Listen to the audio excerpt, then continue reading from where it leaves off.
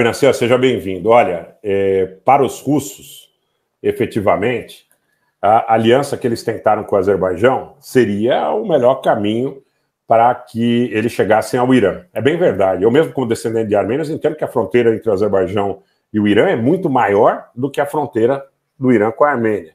As estradas da fronteira entre o Irã e a Armênia são difíceis, são montanhosas, são complicadas, você tem a Geórgia no caminho e tudo mais. Mas não vai haver condição de composição entre esses países.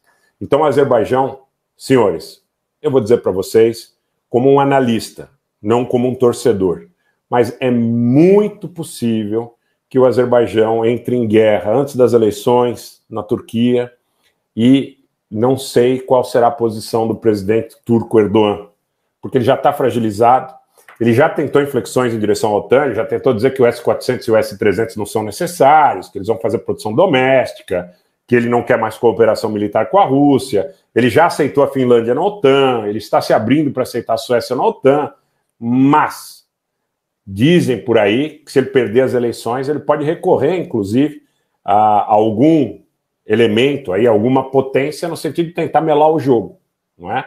Eu não acredito, Leonardo, que o Azerbaijão tenha poder militar para enfrentar o Irã, mas acredito que o Azerbaijão esteja sendo impelido, constrangido, usado por quem, é, na realidade, o ajudou na agressão contra os armênios em 2020 para causar problemas no Irã. Essa é a realidade, tá? Então a conta, tanto da ajuda de Israel como da ajuda da Turquia, chegou para o senhor Aliyev. Eles estão dizendo claramente para o senhor Aliyev: senhor Aliyev, nós os ajudamos naquela, ou ajudamos naquela ocasião. Agora é hora de vocês nos ajudarem. Como que vocês vão nos ajudar? Enfrentando e atacando o Irã. Ou seja, uma posição muito ingrata para o governo de Baku. Por isso é evidente que as últimas aparições do ditador do Azerbaijão se dão sob a égide de muita tensão. Ele se mostra uma pessoa muito tensa, por vezes até desequilibrada, e ele sabe que ele está em um labirinto. Por um lado, ele não pode rechaçar os pleitos daqueles que contribuíram para a agressão do Azerbaijão contra a Armênia e Artsakh em 2020.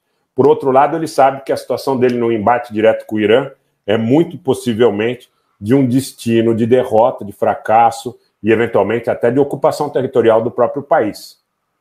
Então, gente, nesse contexto, não é? Nesse contexto, eu quero dizer, Bruno diz aqui, é guerra contra o cristianismo em última análise.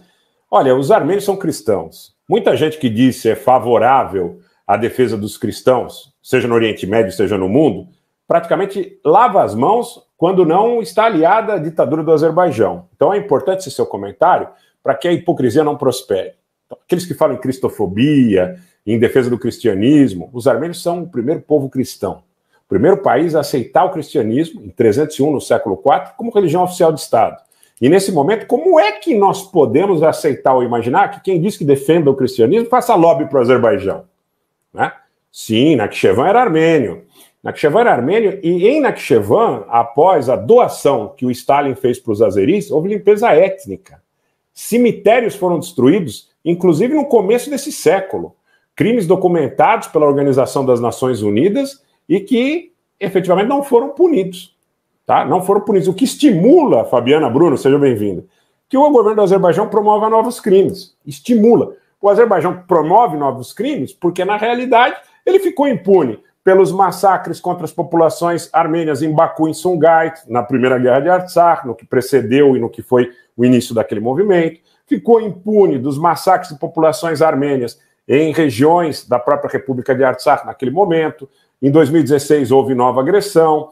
Houve agressão contra os armênios, como eu disse, durante o período soviético e no posterior, em Nakhchivan, onde foi realizada limpeza étnica absoluta. No sul de Nagorno-Karabakh ocupado, em Xuxi, Hadrut e outras cidades, foi feita limpeza étnica, assassinatos, execuções, decapitações. E o que faz a comunidade internacional? Comunicados. Isso estimula, não é? é estimula novos crimes. Estimula novos. Por isso eu digo, olha, agora você tem lá 120 a 150 mil armênios cercados na República de Artsakh. O que os cristãos estão fazendo para defendê-los? Não adianta só comunicado.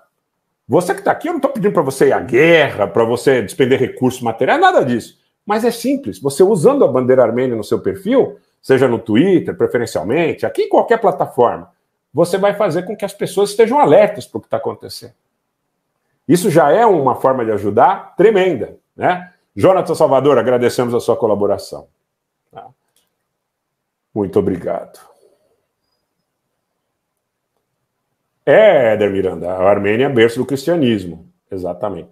Olha, eu, o que eu peço a vocês, o que vocês podem fazer nesse momento, a Rô está perguntando aqui, utilizem a bandeira armênia aqui no Twitter, no Telegram, no Instagram, no Twitch, no Facebook, em todos os lugares. Frente Nacionalista. E um possível conflito com Irã, a República Nakhchivan poderia ser alvo de avanços armênios também?